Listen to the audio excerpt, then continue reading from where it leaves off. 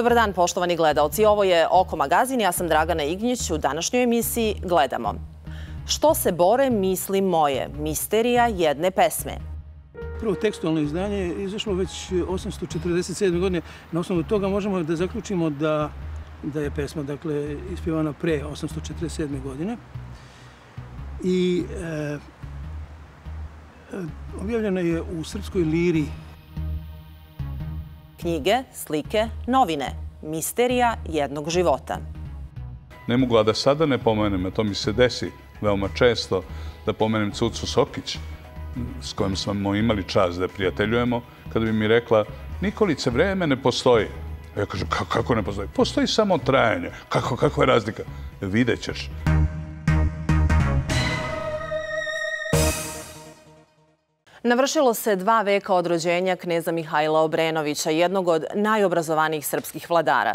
Za vreme njegove vladavine inicirano je osnivanje Narodnog pozorišta u Beogradu. Na prestolu je bio dva puta, a između ta dva perioda vladanja veruje se da je napisao jednu od najlepših ljubavnih pesama, Što se bore misli moje. Tako se zove i film o posljednjim danima života kneza Mihajla. Sinoć je imao svoju beogradsku premijeru. Svojevrsni thriller mogao bi da se snimi i o pesmi, o čijem se autorstvu i o dami kojoj je posvećena i dalje spekuliše. Te misterije razotkriva nam priča Jovane Milovančević. Što se bore misli moje, iskustvom mi čutat veli, bešte sada vi oboje, nek mi srce govori. Ceo mladi Beograd pevao je pesmu za koju se govorilo da ju je ispevao sam knez u svom ljubavnom jadu. Zapisao je u jednom eseju Slobodan Jovanović. Mislio je na pesmu Što se bore misli moje i na kneza Mihajla Obrenovića. O autorstvu ove pesme i dalje se raspravlja. O muzi se nagađa. Zapisi prve melodije su i dalje nepoznati, ali se nepogrešivo zna da je reč o jednoj od najljubavnijih najljubavnijih pesama srpske muzike i književnosti. Kada je reč o pesmi, e, što se bore misli moje, e, ona je zapravo za nas muzikologe i istoričara umetnosti i muzike zapravo i dalje jedna, aj kažemo, da kažemo, velika enigma. E, zato što se istorijski izvori u vezi sa ovom pesmom ne slažu u mnogim stvarima. Ne slažu se oko toga ko je autor teksta, kao što postoji i nesuglasice oko toga kome je pesma namenjena. E, I konačno zapravo izgleda da je autor same muzike anoniman. Jedan od najuticajnijih, ali i najtragičnijih vladara srpske istorije bio je knez Mihajlo Obrenović. O nesrećnoj ljubavi čestitoga kneza različito se govori. Neki kažu da je pesmu Što se bore misli moje posvetio svojoj sestričini, drugi pak da je kneza nadahnula dama iz Loze Karađorđevića, treći spominju jednu austrijsku groficu. Ima i onih koji samo kneževo autorstvo dovode u pitanje. Osim e, stavova da su ovo stihovi e, Mihajla Obrenovića, e, postoje i stavovi da je njihov autor zapravo pesnik Vasa Popović, vojvođanski manje poznati pesnik, ali daleko je više izvora koji svedoče o tome da su da se ipak radi o Mihajlovim stihovima koji su možda bili posvećeni ili Anki Petrović,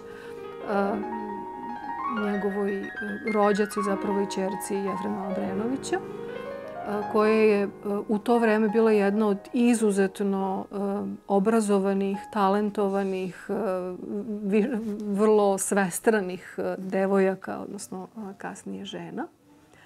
Ali postoji podaci da je zapravo pesma bila namenjena Mariji od Lichtensteina. Tako da osoba koja je izazvala tu borbu misli eh, je zapravo danas nama nepoznata. Zanimljivo je što je ta pesma posvećena njegovoj vrlo bliskoj rođaki koja se zvala Anka i bila mu je sestra od strica. To je bila čerka eh, gospodara Jevrema Obrenovića, gospodara Šapca. I da je šira javnost znala za tu ljubav, verovatno da bi on izgubio presto. Tako da je to bilo jako tajanstveno, jako ovaj, diskretno. Ne znamo koliko s njene strane, a on, je, on se bio zaljubio ovako prilično. On je bio zaljubljive prirode. I ta pesma je izuzetno romantična. To je valjda najromantičnija pesma u cijeloj e, literaturi, pesničkoj literaturi srpskoj. I o njoj su pisali mnogi i pominjali tu pesmu mnogi naši ljudi koji su živjeli u Beču.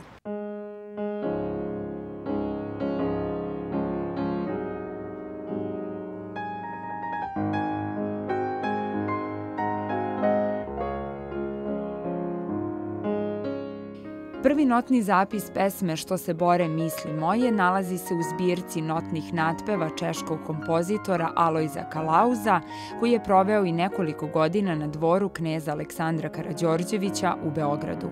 Njegovu zbirku čine 22 kompozicije. Štampana je na francuskom jeziku u Beču i posvećena Kleopatri Karadžorđević. Ovaj vredan muzički dokument pronađen je tek početkom 21. veka, 2003. godine u austrijskoj prestonici, a s obzirom na to da je zbirka u celini bila posvećena princezi iz dinastije Karađorđevića, neki su pomislili da je i knez Mihajlo stihove pisao upravo misleći na nju.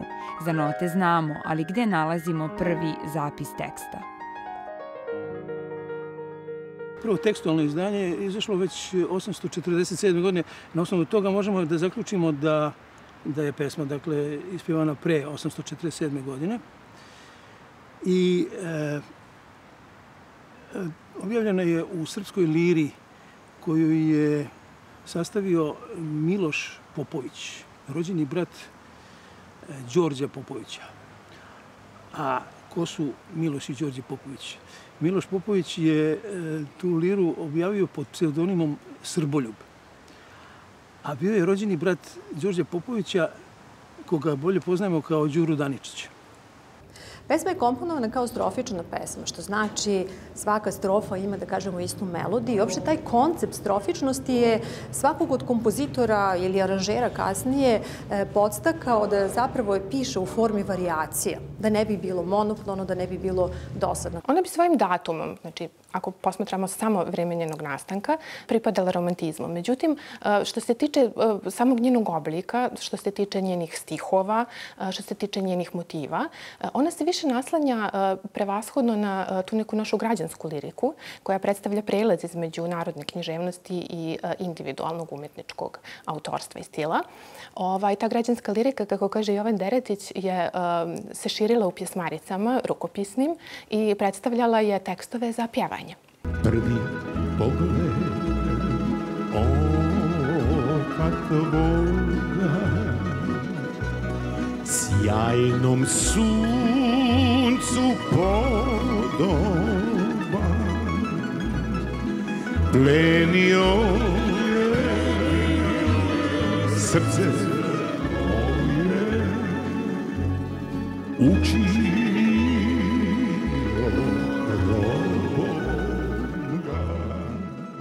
Najraniji podatak o izvođenju pesme Što se bore misli moje je iz 1860. godine iz lista Danica, gde se navodi da ju je Kornelije Stanković na koncertu u Beču izvodio osobito lepo, još se dodaje sa lakošću i osjećanjem.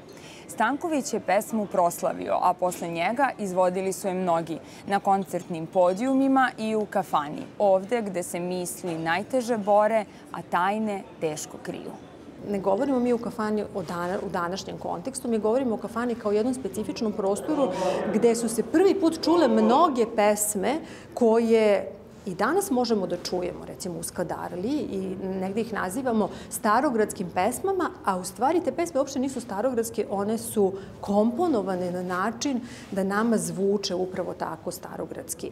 Čak e, ta pesma u vremenu kada je nastala i kada je harmonizovana, onda i nije nastala kao e, pesma koja je trebala da postane kafanska, već kao solo pesma. I to su ti prvi oblici solo pesama. Mnogi od njih takođe zaživeli su naravno na toj kafanskoj sceni. U njoj imamo mnogo tih eh, motiva koji će kasnije do svog punog procvata doći baš u našoj romantičarskoj lirici koja se vezuje eh, za tradiciju našeg folklora i za tradiciju naše narodne književnosti, eh, čemu je puni procvat jel te, donio Branko Radičević. To su motivi idealne drage, to su motivi neostvarene ljubavi do koje se ne može doći, to su motivi ovaj, borbe srca i, i razuma i to je jedna fina naznaka tih nekih kosmoloških vizija koja se doduše samo sporadično provlači u ovoj pjesmi, jer ona i nije napisana kao neka lirska, velika, opširna lirska tvorevina za čitanje nego za pjevanje. Ono što je možda interesantno spomenuti jeste da je jako veliki broj kompozitora zapisao, harmonizovao pesmu što se bore misli moje. I to su kompozitori koji su delovali na različitim, u različitim delovima, ne samo e, današnje Srbije, nego i kompozitori recimo iz Hrvatske. Uh, Eh, među kompozitorima koji su delovali u Srbiji, osim, eh, kao što smo već spomenuli, Kalauza i Stankovića, tu je bio, na primjer, Josif C., tu je bio Isidor Bajić i mnogi drugi još autori koji su eh, prepoznavali značaj ove pesme.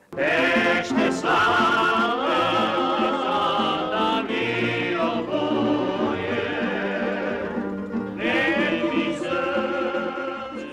Izvođenja i aranžmana ove čuvene pesme do danas je mnogo. Među najpoznatijima su variacije za klavir Kornelija Stankovića. Kosta Manojlović u jednom zapisu čak i svedoči da je sam knez u kući izvesnog trgovca Mojsilovića u Beču Stanković pevao stihove pesme što se bore misli moje. To je bila najpopularnija pesma otmenih Beograđana, da kažem. I mislim da je i sam vladar prisutuo koncertima Kornelije i Kornelije je tada e, svirao na klaviru njegovu obradu ove pesme, pa je e, sam vladar, sam Mihajlo predložio e, Korneliju da krene malo po Srbiji i da stavlja u note, kako se tada govorilo, te varoške pesme. Tako je nastala jedna zbirka e, 63. godine objavljena, 863. gde u predgovoru Kornelije Stanković kaže kako je e, zbirka nastala zahvaljujući milosti gospodara Mihajla, koji je eto blagozvoleo da pomogne Kornelije da obiđe nekoliko gradova u Srbiji i da najlepše pesme stavi u note. Ono što je veoma zanimljivo u vezi sa ovom pjesmom jeste da ona pripada takozvanom korpusu dvorske književnosti. Odnosno, nju je napisao ljubavnu pjesmu e, jedan vladar, mlad vladar, očigledno zaljubljen vladar i posvetio je svojoj tadašnjoj izabranici, izabranici srca svoga. Ona dakle se naslanja na taj, na taj slatki stil. O toj našoj dvorskoj književnosti mi nismo do sada mnogo govorili. E, neki naučni skupovi koji su održani i zbornici radova koje očekuje, između ostalog zbornik radova Instituta za književnost uskoro će izaći. Tako da se nadam da ćemo u narednom vremenu i o našoj dvorskoj književnosti više govoriti. Sjajnom su do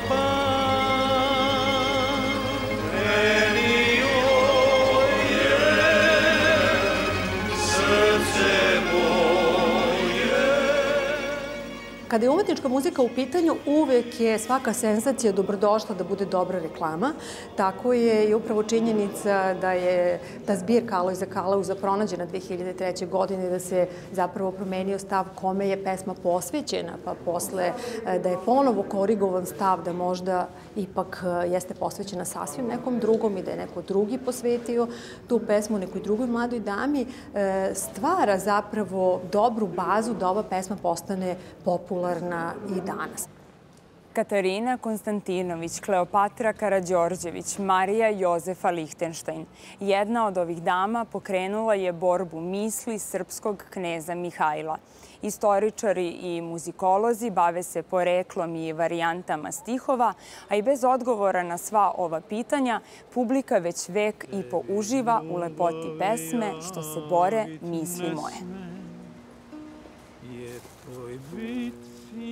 Tragični kraj kneza Mihajla Obrenovića svima nam je poznat, ali za priču o ovoj pesmi i osobi koja ju je možda inspirisala, zanimljiva je činjenica da je srpskog kneza u posljednjoj šetnji košutnjakom pratila baš Katarina Konstantinović. A da budeš s drugim srećna, molit ću se ja Bogu.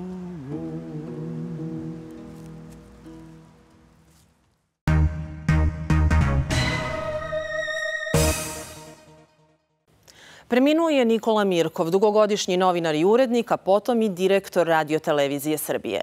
Poštovalac i izuzetan poznavalac umetnosti, ljubitelj redkih knjiga i istorije. Oni koji su sarađivali s njim pamtiće kako je glavne akcente razgovora na kraju dodatno naglašavao latinskim nota bene. Šta je upamtio dobro iz svog života, govorio je pre nekoliko godina kolegi Zoranu Stanojeviću. Gledamo intervju iz decembra 2016. Danas imamo baš dragog gosta, čoveka koji nam je bio i šef i uzor, mnogo čemu nedostižan uzor. Novinar, kolekcionar knjiga i slika, ali najviše od svega drag kolega Nikola Mirkov. Hvala ti, brate.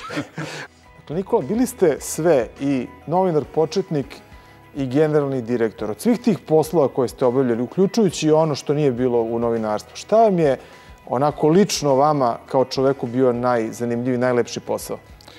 Teško je odgovoriti na to pitanje. Kao sportista, uglavnom se sećam svojih spektakularnih poraza. A kao, kao sportista u stonom tenisu. To, to smo propustili da kažemo da ste bili e, pa, evo sad smo stigli. Nije bilo Bog za šta, ali nije bilo baš ni zanemarljivo. Elema, sada, pošto si me upozorio na početku, a ja tebi kažem ti, jer ti kažem također svakome koga volim, kao prever, izdvojio bi radioskop. To je bilo vreme kada smo pokušali da na radiju tu kulturu, ozbiljnu kulturu, spakujemo tako da dopre do svakoga. Zatim imponovalo mi je i druženje sa tim ljudima čiji sam delo znao.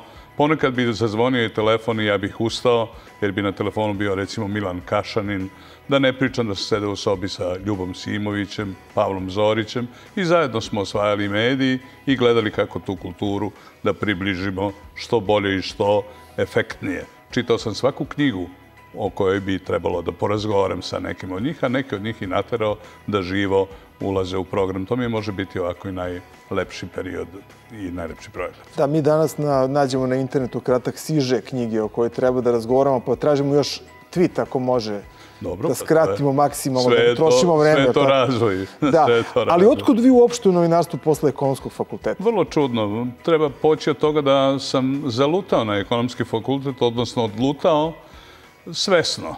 Nisam bio dovoljno zreo da mogu da procenim svoje interesovanje, odnosno smatrao sam da ono što volim, da je to nešto, da je lako studirati ono što voliš, da to čovjeku pripada nezavisno od toga i čak bez ičije pritiska ni porodice. Sam sam odlučio tako da eto izaberem nešto što ne privlači me. Sticajem okolnosti, veoma brzo sam to završio i Našao sam se tek onda u čudo šta sada da radim. Izašao je konkurs u školi Brodarskoj, ja sam prošao i tu sam provao jedan divan, kratak period života, veoma buran. Kao profesor u školi? Jesi. Na samom početku, što se jako malo zna, je tako?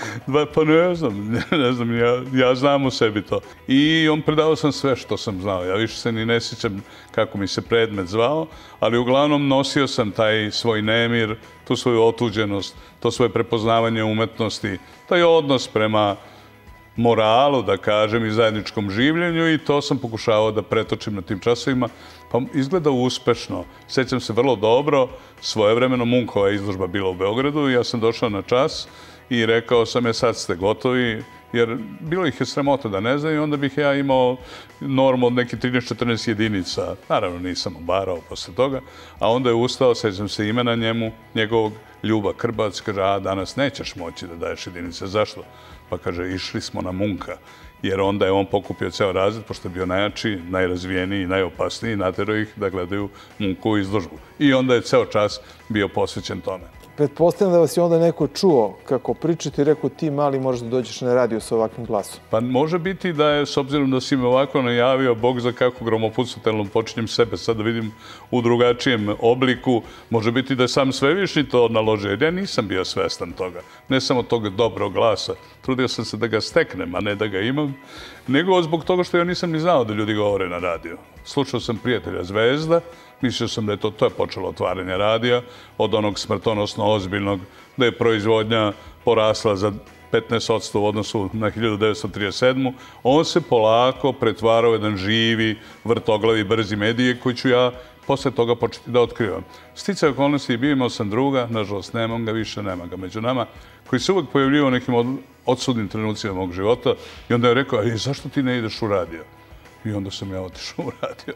Ispada kao da nema neke svoje volje, međutim, činjenica da je bio potrebno. Niste samo zakucali na vrata i prošli Jesam, došao sam na konkurs, imao sam sreću, verovatno je tad glas značio, jer je naravno bila ozbiljna, vrlo ozbiljna. Prvo bio sam jedini od nas 13 koji su primljeni. Tada moja generacija je Gordana Suša, Backo Diklić i još nekoliko znamenitih predstavnika naše profesije.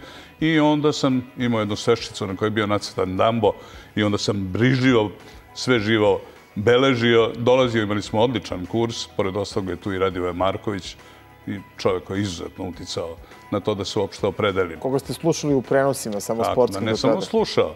Radivoje Marković, ako imamo vremena da to kažem, s obzirom da kad si rekao otkud u radio. Radio je bio simbol u našem detinstvu, televizije još nije bilo i mi bismo se jatili po Ćošku, a Ćošak je bio naše boravište i naš univerzitet i naše učenje života uopšte. I tu bismo se jatili, pored ostalog kole, naš Brica imao je jedan radioaparat, izgledao kao da je oter papira. I kada bi bio neki važan prenos, onda bi on morao da zaposli još jednog pomoćnika, jer bi nas ubacivali unutra dok slušamo prenos, a ovaj bi nam krst preko glave udarao da ne pobegnemo, jer nismo volili da se šišamo a on imao pak sa našim roditeljima da kad je veliki prenos, dobije novce u napred i onda nas preuzme da nas ošiša nas do glave koliko treba. I tu je taj radio je Marković njegov glas, jer stadion kolom 30.000 gledalaca za uvek se urezao u pamćenje. I ako bi govorio o nekom svom najvećem uspehu, kako sam ga ja doživao, to je trenutak kad sam ga upoznao i trenutak kad me pitao da li želim da ja sarađujem s njim, Naravno, ja sam rekao da. Onda bi on otputao u Urugoj, a odjava bi glasila urednici Radivoje Marković i Nikola Mirko. Možeš misliti mog odlaska u kraj onda kad se pojavim koliko sam bio značajan i važan. To je recimo bila predstava radija. Ali to je uvijek interesantno pitanje, jer tu kad upoznate glasove koje slušate na radiju i vidite ih uživo sada celim likom, kakav je to bio osjećaj? Razočaravajući ili drugačiji? To pitanje se ne može primeniti na ovaj slučaj. Jer radio, radio Marković je bio simbol radija. E, da te podsjetim u to vreme, ne podsjetim, nego da te može biti obavesti, možda ne znaš, jer to ni ja nisam doživio. Ali je postojala pesmica koja je ušla u narodno predanje.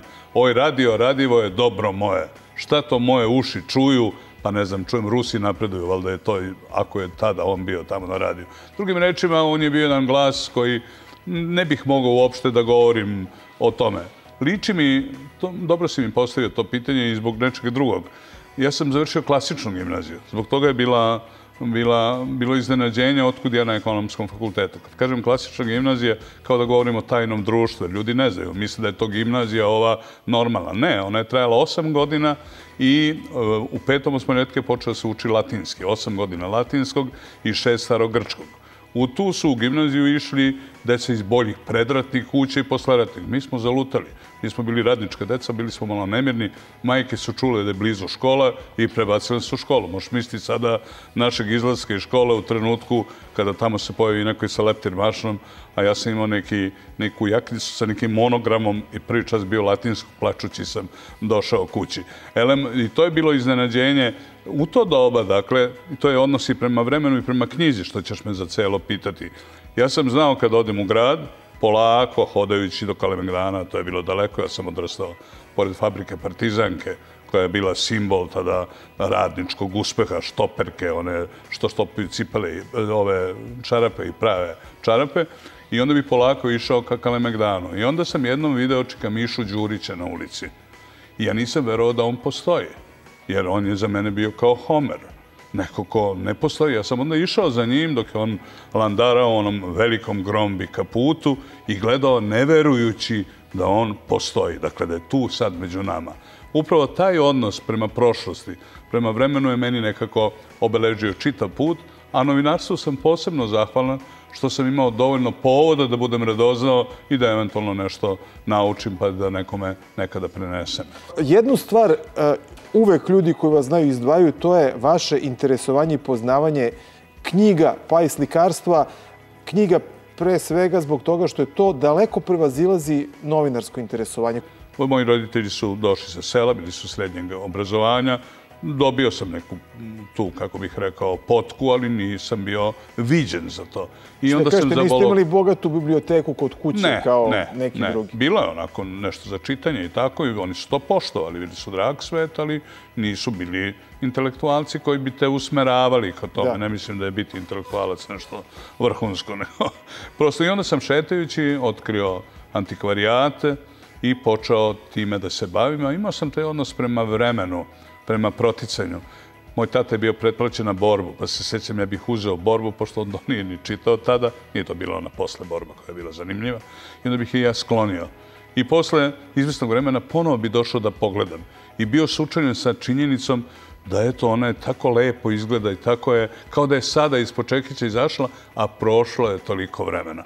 I tu se negde urezao moj odnos prema tome. Kad sam počeo da prepoznajem da mi zaboravljamo mnogo i da je to naš teški usud, onda sam shvatio da sve to, sve to ima dubokog smisla. Ne mogu, a da sada ne pomenem, a to mi se desi veoma često, da pomenem Cucu Sokić, s kojim smo imali čas da prijateljujemo, kada bi mi rekla, Nikolice, vreme ne postoji. Ja kažem, kako ne postoji? Postoji samo trajanje. Kako, kako je razlika? Vidjet ćeš. Čini mi se da sada vidim kakva je razlika. Jedan ste od, od ljudi kojima se najviše divim kada je korišćenje jezika, da ne kažem poznavanje. Pa jesam, bilo me sramota jer ste me već to ispravljali na, kad nešto kažem na, na sastancima, da li sam rekao gramatički ispravno ili jezički ispravno. A sad sam, sad sam se prosto zapitao, ili imate vi neku poštapalicu kada slušam, nijednu nisam čuo pa u razgovoru. Ne znam, ne znam, pravo ti kažem. Da, da, Otkud ta pazi, strast, strasti prema jeziku? Samo spoznaje je ozbiljna avantura jer kad šekira samo spoznaje udari, onda svaki dzinzov, dzinzov može da postane stručan. Znate da napišete ta slova? Pa ne znam, nisam još osvojio to novo, ali vidim da si odmah dobro asocirao na ta ludira. E sad, uh, zašto ste otišli iz Beograda? Već koliko dugo ne živite u Beogradu? 14 godina smo Pa to je bilo pravo iznenađenje za sve nas, za i nas same, i za moju porodicu i za nas, budući da sam ja rođen u Beogradu i da kada odem u park sa decom svoje vremena da ih čuvam, ja bi zaspao u parku. Pritom sam nepraktičan, ne umem ništa naročito da uradim. Međutim, sticam okolnostima, supruga i ja smo često odlazili u Belegiš, gde su živjeli njeni roditelji kad su otišli u penziju, a onda kada je stari otputovao, mada je otišao, nije imao mnogo godina, mi smo pre toga bili na toj potleušici, podigli malo jedno 40 kvadrata i zavolili da odlazimo tamo. I onda smo se pomalo tu navikli, mada nismo bili prešli one gajitelje ruža i ovaj, ljudi koji su vezani za zemlju u tom pogledu. Majka je se razbolala, onda smo malo češće dolazili i u jednom trenutku odlučili smo, prodali smo stan i otišli tamo, že imamo već 14 godina. To više nije ono selo o kojem mi pričamo, asfalt je do kuće, svaki eh, sat jedan na sat idu autobusi, prijatelji dolaze, ostvarila se i neka želja o nekom duhovnom bratstvu. Znači ne mora se živjeti u, u gradu koji onako lupa pa, 200 očigledno, evo, iskreno govoreći, nismo se pokajali i nikada mi to nije nedostaje mi po nešto ponekad, ali to bi nedostajalo i ovde da sam ostao da živim. Jer imate s kim da igrate stoni tenis tamo? Nemam, nemam. Nemam, znači ali imam preferense. To je ono što nedostaje. Nikola, hvala vam. Hvala, hvala vam što ste bili gost uh, u emisiji Tako stoje stvari na moj veliki hvala ponos i hvala od svih kolega iz RTS-a. Blagodarim, hvala vam.